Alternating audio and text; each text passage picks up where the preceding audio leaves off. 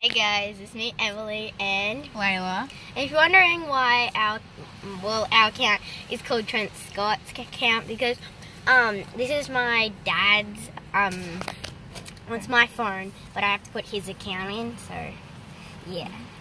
Well, it's his phone, but I, he put his account in because it's his phone. And we are just at the beach right now, as you can see. We're at Stradbroke, if you're wondering. And yeah, so if you would like to, if you like, if you have been to Straddie or if you like Straddie, comment down below And give this a like and subscribe. in five seconds. Five, Bye. four, three, two, one.